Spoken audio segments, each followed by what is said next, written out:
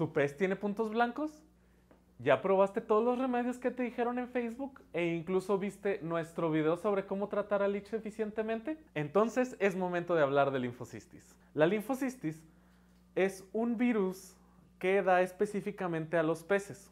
Se vuelve un tema importante ya que en muchas, muchas veces en redes sociales hemos visto fotografías de peces con signos de linfocistis y todos, todos los tratamientos que mencionan en los comentarios hablan de itch.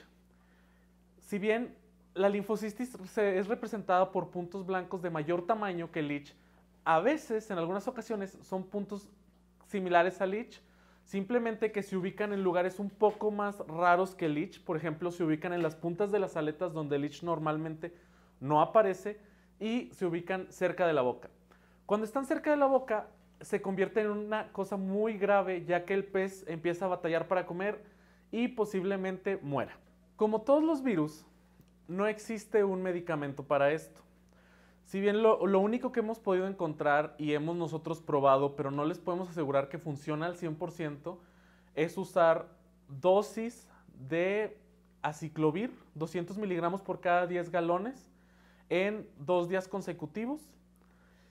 Pero esto es como un tratamiento que posiblemente puede funcionar.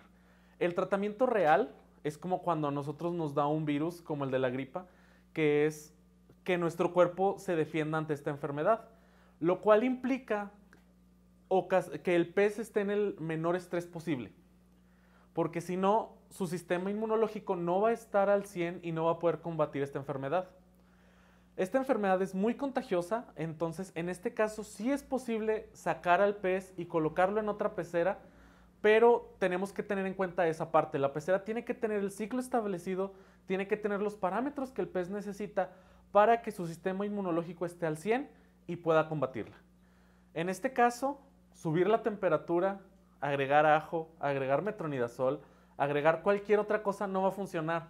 De hecho, muchas veces al medicar, nuestro pez sufre un pequeño estrés, ya que pues es una sustancia que no está en su ambiente y eh, entonces medicar itch se convierte en un problema si no lo medicas adecuadamente.